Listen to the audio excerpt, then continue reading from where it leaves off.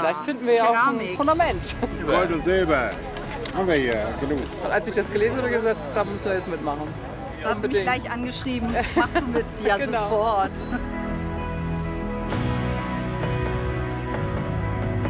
Wenn man mal hier so rumschaut, die ganzen Menschen, die man damit äh, zu fassen bekommt, was für eine Dynamik das so entwickelt im Dorf und auch dieses äh, Gespür, ja Mensch, ich wohne in einem besonderen Dorf, das ist eine wahnsinnig alte Siedlungsstruktur, das äh, ist äh, schon einzigartig. Liebe Fans der Archäologie, ganz herzlich willkommen hier bei unserem Projekt Schenefeld gräbt aus. Es geht um Wissenschaft. Ich wünsche Ihnen ganz viel Spaß. Vielen Dank, dass Sie dabei sind.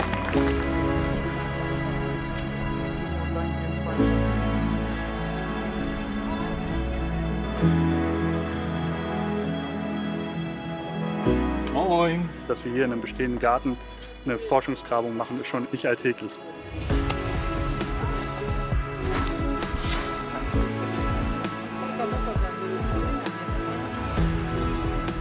Das sieht nach einer Scherbe aus.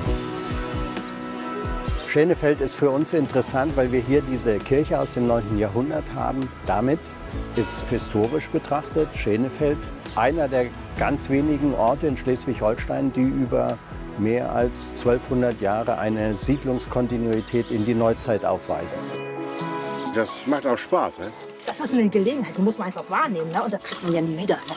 dass man mal richtig so ausgraben kann. Egal, ob man was findet oder nicht, alleine das Suchen, der Weg ist das Ziel. Ein Gelenkknochen. Wir wollten noch mal wissen, was wir irgendwo im Garten haben. was man nicht so sieht. Was ist das denn? Das gibt's ja nicht.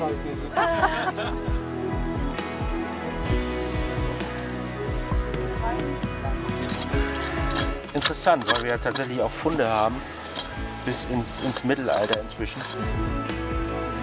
Also ich kann nur jede Gemeinde empfehlen, da mitzumachen, weil das hat so viele Benefits, das ist äh, gar nicht so in Worten zu fassen. Ne? Ein Meter haben wir. Ende der Grabung.